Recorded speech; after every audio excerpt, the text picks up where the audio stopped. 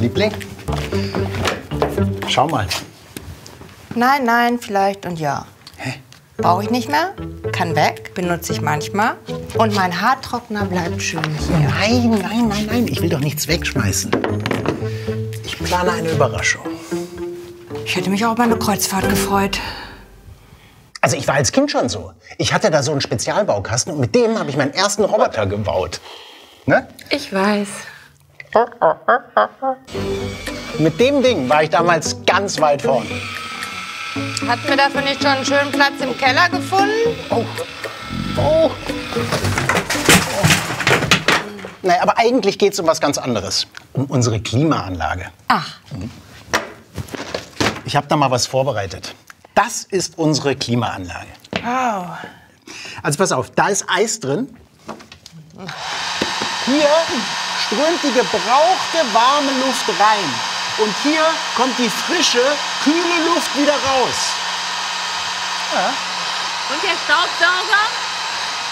Der ist eigentlich dafür da zu zeigen, wie die verbrauchte Luft eingesaugt wird. Hier hat wirklich jemand zu wenig frische Luft bekommen.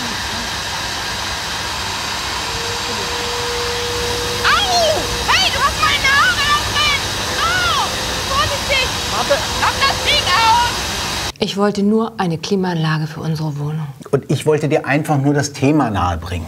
Danke, das war nah genug. Schatz, das ist ein Kältekreislauf.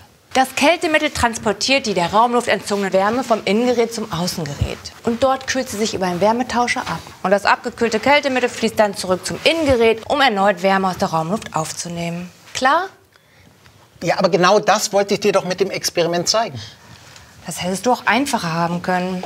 Dein Bier im Kühlschrank wird nämlich mit dem gleichen Prinzip gekühlt. Das habe ich gewusst. Sie sind auf der Suche nach einer Klimaanlage? Auf mitsubishi-les.com slash Klima für zu Hause finden Sie relevante Informationen, die Ihnen die Entscheidung leicht machen. Und den passenden Kälte-Klimafachbetrieb gleich dazu. Technik ist irgendwie auch ein Hobby von mir. Ja, eben. Und deshalb bin ich ja so froh, dass ein Klimaanlagenfachmann das hauptberuflich macht.